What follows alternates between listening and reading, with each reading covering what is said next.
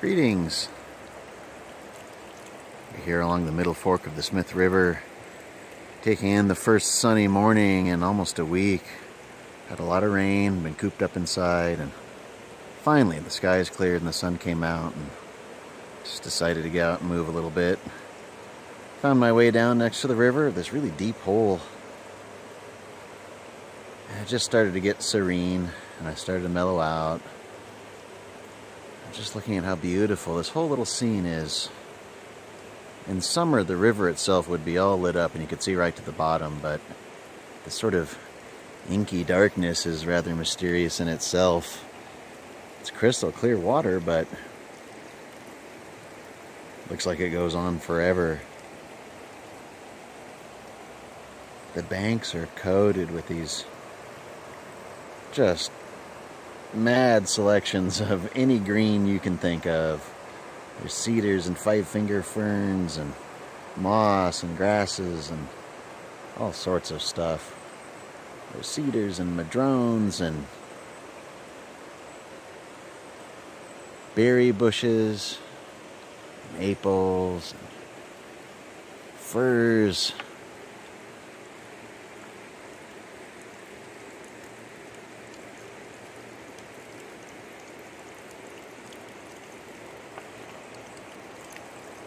Just sort of reminded me of uh, a moment I had in the Strawberry Wilderness, Strawberry Mountain Wilderness, where everything just sort of, everywhere I looked, like, look at this.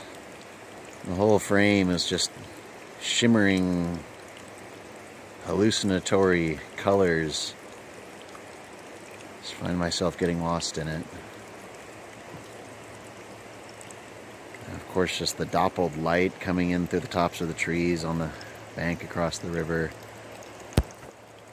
I'm looking up and seeing the peak of this rugged escarpment up there of the serpentine landscape eroding away. These old cedars, overhanging snag. Of course, these moss-covered banks and rocks are just, oh. Look at that, uh, there's a little crayfish claw for you. You know, and there's even little trickles of water little reflecting pools. You know, there's the, the trees above us, the sky. Find myself staring at that. My gosh.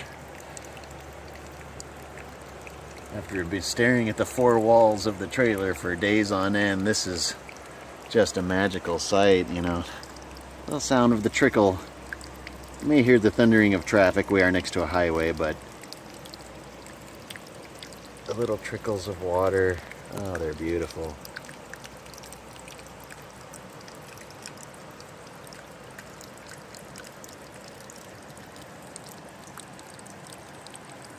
Leaves of fall. And it's just, now if you're a photographer, like I used to be, this place is just about a, an outdoor photographer's paradise. You could spend a lifetime out here and especially those of you who are coming up in the digital world. I came up in the film world, so we had to pick and choose what we shot out here. But with the digital, my goodness, I need to fill up terabytes of raw image files of some of these stunning landscapes. Everything's wet and green. The river's risen up several feet after all this rain. And so it's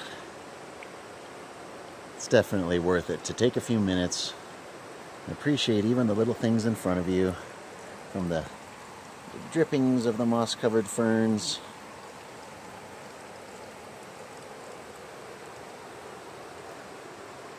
The reflections on the water and the turning fall colors.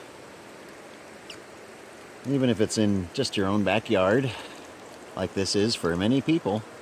There's a car in the parking lot that actually had the license plate was the name of the nearest town. Couldn't believe it. Customized license plate. Even the locals are getting out and appreciating this, so I recommend, you know, get outside.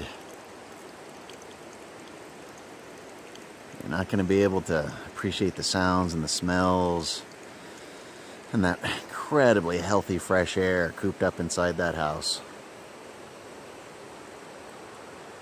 I'm going to shut up and sit down and enjoy this for a while and take in every last detail of it. I thank you for joining me for five or so minutes of enjoying some of the details of it.